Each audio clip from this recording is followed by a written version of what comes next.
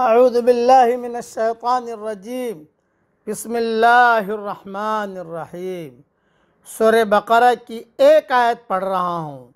आयत नंबर दो 213 कानन्नास वाहिदा। लोग एक एक ही उम्मत थे। फ़बासल्लाबीन मुबशरीन व मुंदिरीन फिर जब उन्होंने इख्तलाफ किया, आपस में लड़ने लगे तो अल्लाह ताला ने पैगंबरों को भेजा, खुशखबरी सुनाने वाले और डराने वाले बनाकर। व अनजलमाकिताब बिलहक़म मख्तलफूफ़ी और उनके साथ किताब उतारी, हक़ के साथ, ताकि वो फैसला कर दे, लोगों के दरमियान। उन बातों का जिनमें वो इख्तलाफ कर रहे हैं। वमख्तलफ़ीन ऊतूह मिन बाद मा बैयिनात मिन मा जाअतहुमुल बैयिनात बग़यम बैनहुम और ये इख्तलाफात उन्हों लोगों ने किए, उन्हीं लोगों ने किए जिनको हक दिया गया था। बाद इसके कि उनके पास खुली खुली हिदायत आ चुकी थी। सिर्फ़ आपस की ज़िद की वजह से। फ़हदल्लादीन आमनमख्तलफ़ी मिनल हक़ बिदनी बस अल्लाह ने अपनी तौफीक से हक़ के मामले में ईमान वालों को राह दिखाई। जिसमें वो झगड़ रहे थे। वल्लाहदी मुस्तकीम। और अल्लाह जिसको चाहता है सीधी राह दिखा दिख, दिखा देता है। थोड़ी सी तशरी इसकी सुन लीजिए। इख्तिलाफ हमेशा राह हक के इनहराफ की वजह से होता है। और इस इनहराफ का मंबा और असल वजह बुग्ज़ इनाद बनता है। उम्मत मुसलमा में भी जब तक ये इनहराफ नहीं आया, ये उम्मत अपनी असल पर कायम कायम रही और इख्तलाफात की शिद्दत से महफूज रही।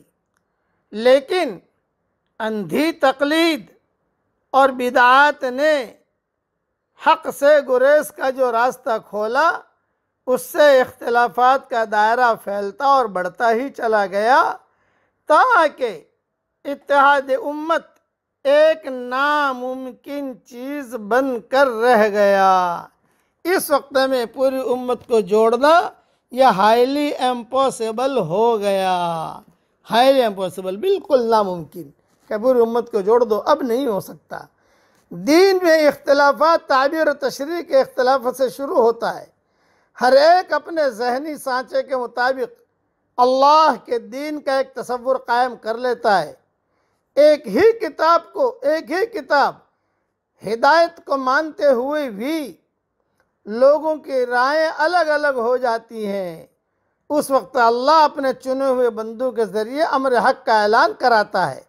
ये आवाज़ अगरचे इंसान की ज़ुबान में होती है और बज़ाहिर आम आदमी जैसे एक आदमी के ज़रिए बलन की जाती है, ताहम जो सच्चे मुतलाशी हक हैं, वो इसके अंदर शामिल खुदाई गूंज को पहचान लेते हैं और अपने इख्तलाफ को भूल कर फ़ौर उसकी आवाज़ पर लब्बे कहते हैं।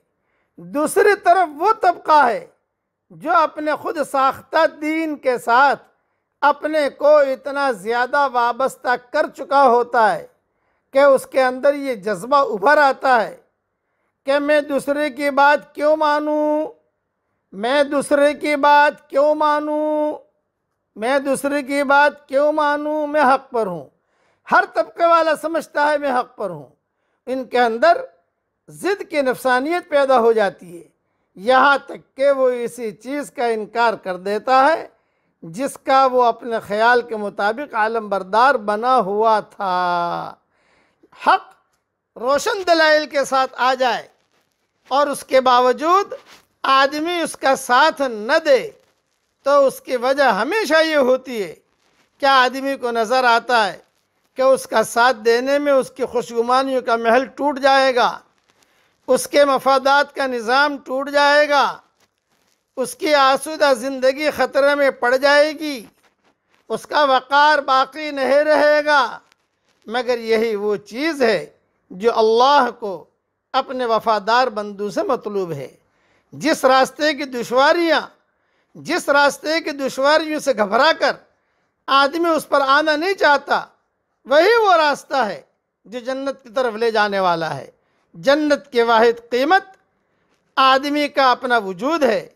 आदमी अपने वजूद को फ़िक्र अमल के जिन नक्शों के हवाले किए हुए हैं वहाँ से उखाड़ कर जब वो उसको खुदा के नक्शे में लाना चाहता है तो उसकी पूरी शख्सियत हिल जाती है।